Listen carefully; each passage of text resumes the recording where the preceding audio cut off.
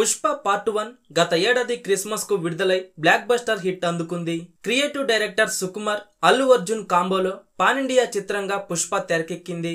ఈ మూవీ సీక్వల్గా Pushpa the rule పేరుతో పుష్ప పార్ట్ టూ ను రూపొందిస్తున్న సంగతి తెలిసిందే. ఇది ఇలా ఉంటే పార్ట్ వన్ విడుదలకు ముందే పాటలు ట్రైలర్తో సెన్సేషన్ క్రియేట్ చేసింది పుష్ప. ముఖ్యంగా పుష్ప పాటలు ఏ రేంజ్లో విజయం సాధించాయో ప్రత్యేకంగా చెప్పాల్సిన పని లేదు. సమంత స్పెషల్ సాంగ్ అయితే రికార్డు సృష్టించింది.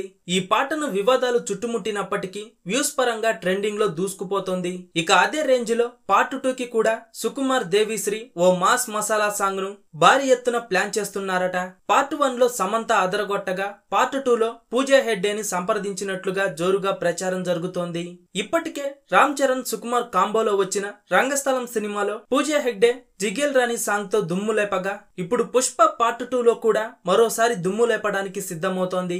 ఇక త్వరలోనే పూజాతో చర్చలు కూడా జరుపుతారని వార్తలు వస్తున్నాయి. ఇప్పటికే ఆమెను సంప్రదించారని దీనికి పూజా హెడ్డే కూడా గ్రీన్ సిగ్నల్ ఇచ్చిందంటూ ఫిల్మ్ నగర్ వర్గాల్లో గుసగుసలు వినిపిస్తున్నాయి. ఇక పుష్ప పార్ట్ టూ సినిమా ఎలా ఉండబోతోందని మీరు అనుకుంటున్నారు కింద కామెంట్స్ రూపంలో తెలియజేయండి. వీడియో మీకు నచ్చితే లైక్ చేయండి. అందరికీ షేర్ చేయండి. కానీ సబ్స్క్రైబ్ చేయడం మాత్రం మర్చిపోకండి.